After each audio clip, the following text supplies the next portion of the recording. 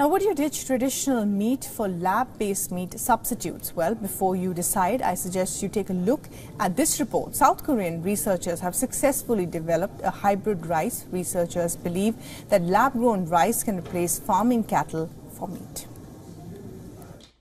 Would you eat this bowl of beef rice? South Korean researchers have succeeded in growing beef cells in rice grains, which they say could become a sustainable alternative source of protein that can replace farming cattle for meat. The rice grains you see now have a uniform distribution of both muscle and fat cells throughout their surface and interior, paving the way for the development of future food sources.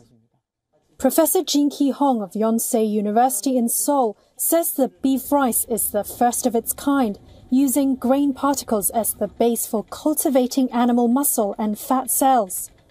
Here's how it works. Rice grains are first treated with enzymes to create an optimal environment for cell growth. Then they are infused with cultivated bovine cells. The result is a pinkish hybrid beef rice that contains approximately 8% more protein and 7% more fat than conventional rice. And the taste is also different. In addition to a slightly beefy flavour, and then followed by a taste of plant based protein, there's also a subtle buttery creamy taste. And furthermore, there's a slight dryness.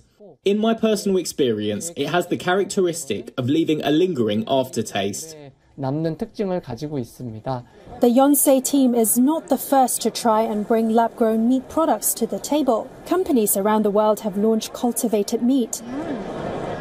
But Hong's team says rice represents a uniquely safe base to cultivate animal cells relative to soy or nuts because of a far lower incidence of allergy. Priced at roughly $2 per kilogram, and with a far smaller carbon footprint, Hong says cultured beef rice can potentially compete with traditional beef products.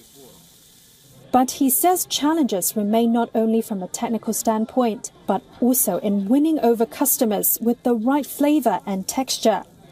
Potential customers agree.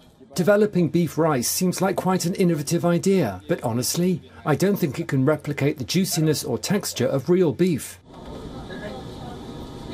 Um, now it does not compare to beef yet, but as I see the research is early stages. So I, I would say um, it, it's a great way forward. For all the latest news, download the WION app and subscribe to our YouTube channel.